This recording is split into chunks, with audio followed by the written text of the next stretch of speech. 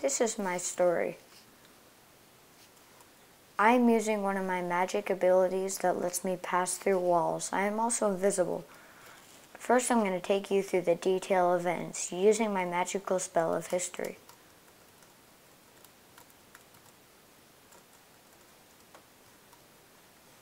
This is my brother Aaron. He actually turns evil and actually tries to kill me. But first, we are okay friends. This is the danger room, where all parents send you. This is my mom. Looks like she's about to go check outside. Good thing we have nothing in our chests to look for inside of here. See, only our stone spade. This allows us to help dig and bury our trash can. And here's my dad. In our chests are assignments. Today is a holiday, the day of purge, meaning all creative people are sent to their deaths. So there are no activities for the day, so we all get a holiday. Out here, this is the person that told me I was unwanted, so I had to follow this path. Being unwanted means you were too creative, and apparently I was too creative. So, being unwanted, they send you to the death farm, where they purge you, and you don't live. Here's the death farm bus. We had to enter here and move to the death farm. This is the death farm. This is the exterminator. He purges us. This is his shack, which is very run down. We were about to walk out onto these pressure plates and be sent into this lake of boiling oil that will burn you. But all of a sudden, as we were outside, a flying turtle came, and he saved us all and sent us to Artemis. This is Artemis. These are some of my friends from the school. Mr. Today, over here in the brown suit, told us that walls were unneeded and creativity was allowed everywhere.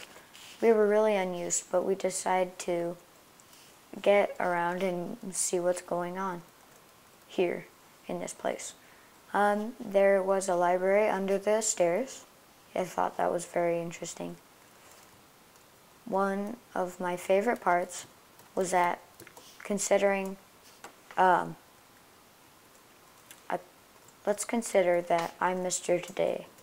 I can only see that library because no one else is, everyone else is forbidden down there. But I can't see the girls' dorm or the men's dorm because they're invisible and they're only for my students. And that, so let's pretend like I'm a girl. I can now enter. Here are my group mates and I enter in here. Uh, as me being a musical artist, I get musical weapons because here in in Artemis, weapon creativity is a weapon. For example, you can draw 3D doors that can actually take you places, and also music that can make your opponents, your foe, have fiery feet. First, that's one of my group mates. I wonder where the rest... This is my room. I have the paintings.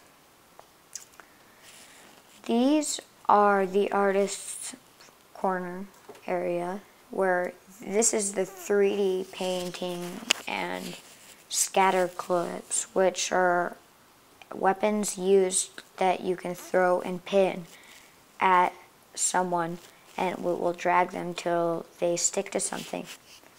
Thank you for taking this tour of my life so far with me. We have had a war with Quill, and the rest you'll have to finish by reading my book called The Unwanteds, where you will learn all about this place Thank you for watching.